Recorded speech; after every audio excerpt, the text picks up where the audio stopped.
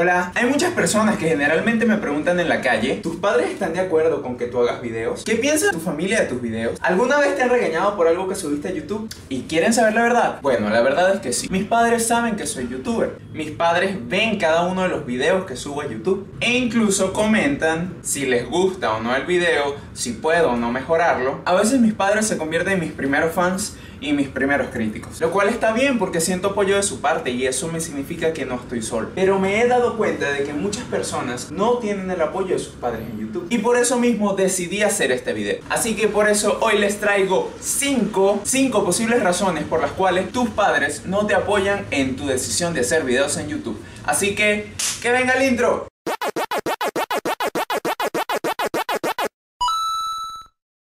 Así que comencemos. La primera posible razón por la cual tus padres no te apoyan en YouTube puede ser tu contenido. ¿Sí?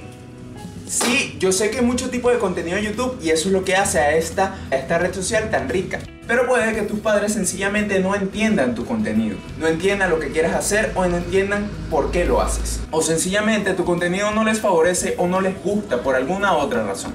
Puede que tu contenido sea incluso inmoral o que hables de algunas cosas que no les gusten a ellos y por eso puede ser que tus padres no te apoyen en YouTube. Y esto puede ser por dos razones. Una, que tu contenido realmente sea inmoral y sin propósito y solamente para insultar a otras personas. O dos, que sencillamente no les guste tu contenido porque no les guste que subas videos en internet. Y si es la última razón, es un poquito difícil de acomodar. Pero después hablamos de ello. Mi recomendación es que trates siempre de hacer un contenido que sea más o menos estándar a los valores que ellos te han enseñado siempre en tu casa.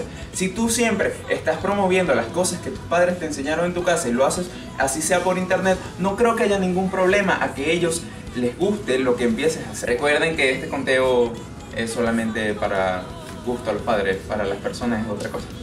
2. El lenguaje que utilizas en tus videos. Y aquí muchos me pueden decir de que, oye, no, a mí me gusta decir groserías en internet. O alguna de esas cosas de que YouTube es libre, yo puedo hacer lo que me dé la gana. Y la verdad es que sí, YouTube es bastante libre en este sentido. Y eso nos da a nosotros tener más responsabilidad en lo que nos toca de hacer. Porque, porque a nuestro contenido puede llegar cualquier tipo de personas, sean niños, sean personas cristianas, y la verdad es muy difícil que te les guste tu contenido o que les des un buen mensaje cuando lo único de lo que sale de tu boca son sapos y culebras. Además, no creo que a una madre le guste que estemos viendo a su hijo hablando y hablando y hablando y de 20 palabras que dice 24 son groserías. Así que tienen que cuidar mucho el lenguaje. Si no, pasará más o menos así. Ah, ya subí un nuevo video, si quiere lo ve. Uh, ay, claro, hijo, ya lo voy a ver.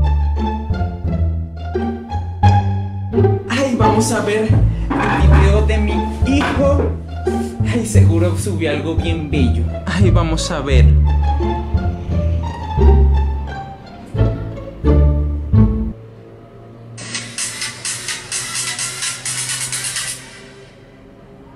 yo te estaba viendo y tienes todo bueno, así que dime cómo hacemos para meterte.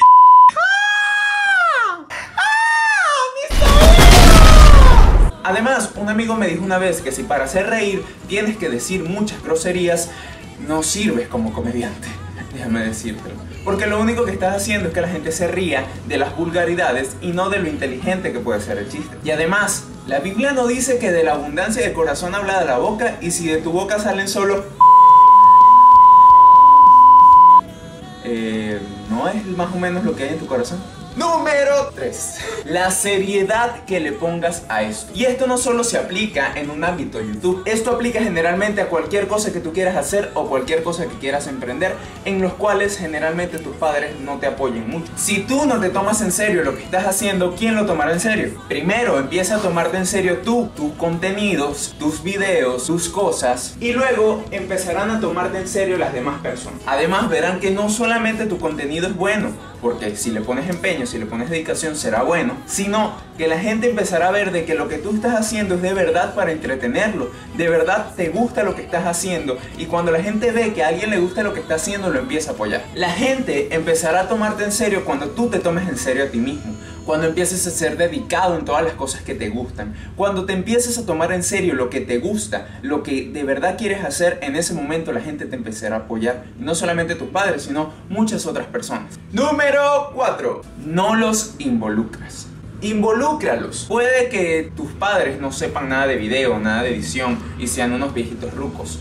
Pero si tú les preguntas, papá, ¿te gusta mi video? Papá, mira, subí un video, ¿te gustaría checarlo a ver qué tal te parece? O papá, no tengo ideas para un video nuevo, ¿qué te gustaría hacer a ti? O papá, mira esta imagen que hice en Photoshop, ¿te gusta? O papá, mira la nueva intro que, que hice, ¿te gustaría? Si empiezas a pedirle opiniones o empiezas a involucrarlos, sencillamente ellos empezarán a apoyarte.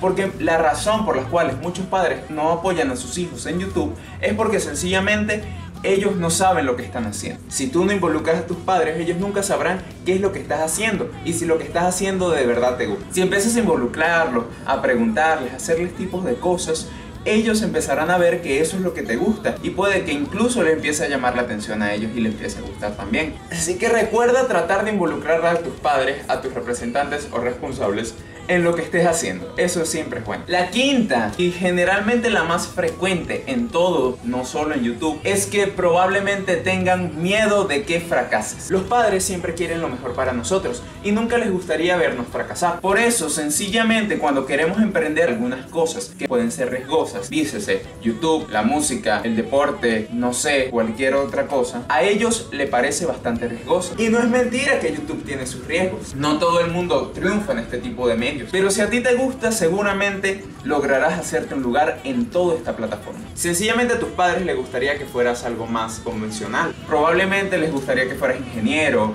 o administrador o informático o, o contador o economista. Pero si es a ti lo que te gusta, recuerda siempre luchar por ello. Y tienes que hacerle ver a tus padres de que esto es rentable, de que esto es posible, de que lo que estás haciendo no solamente lo estás haciendo por hobby, sino que lo quieres hacer. Tienes que hacerles sentir seguros, de que a pesar de que sí es verdad, puedes fallar, pero ese fallo te ayudará a seguir adelante y lo que quieres lo vas a conseguir en algún momento con dedicación y con trabajo duro. ¡Bonus!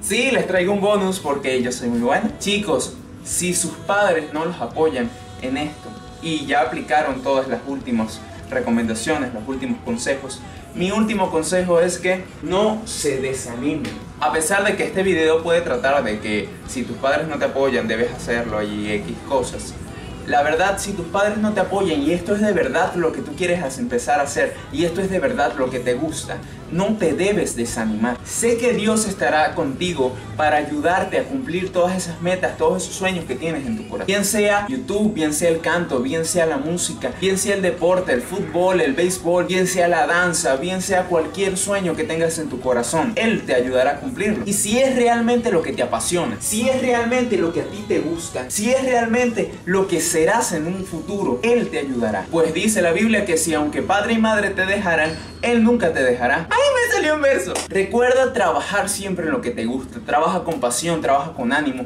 trabaja con esmero, para que en algún día puedas lograr todos esos sueños que tienes en tu corazón. Y si trabajas duro, la vida te recompensará. Dentro de el menor tiempo que tú esperes, esos sueños empezarán a cumplirse. Pero recuerda que tienes que empezar a trabajar ahora en base a ellos, porque la fe, si no, es muerta. Y bueno, esto fue todo por el video de hoy. Recuerda suscribirte a Senasi. Recuerda darle like y compartir el video con todos tus amigos para que todos empiecen a ver por, qué rayos sus padres no los apoyan en YouTube. Recuerda ver mis videos. Tengo una sección que se llama Just Hear Me. Aquí dejo un videito. El último video que hice fue, fue un poema que escribí sobre la situación de Venezuela. Así que escúchenlo, creo que me quedó bonito.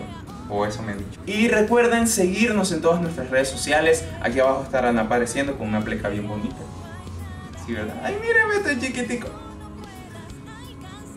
Y bueno, eso fue todo por el video de hoy. Que Dios les bendiga. Chao. Rápidamente quiero mandar un saludo a todos los que comentaron mi publicación en Facebook, donde les dije que comentaran una frase de película. Vamos a ver, primero comentó el señor Leonardo Chirinos con su caracoles servidos, que no sé de qué película es. Hablando de Leonardo Chirinos, pueden suscribirse a su canal Demasiada Ficción. Hago esto porque de verdad me gustan sus videos y me encantaría que se pasaran por su canal y dijeran que vienen de parte de Next. ¡Sigamos!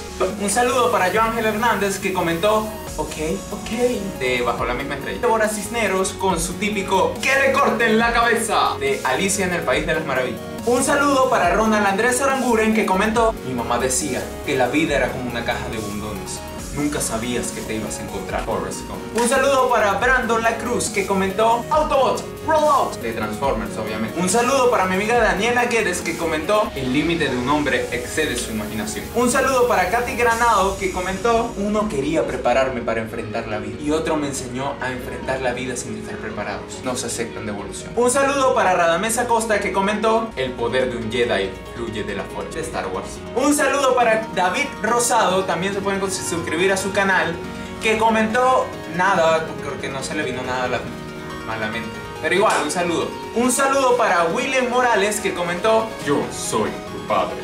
¡No! Un saludo para Carlos Abreu que comentó Mientras más cerca estés, menos podrás ver de Los Ilusionistas. Y el último saludo es para mi amigo Angelo López que comentó Desde toda la vida siempre quise ser un gas. Godfellas de Martin Scorsese. Así que si quieres un saludo solo comenta alguna frase de película en este video aquí abajito y te estaré saludando en el próximo video. Así que espero que comentes para que puedas ser saludado en próximos videos. Nos vemos luego, hasta la próxima.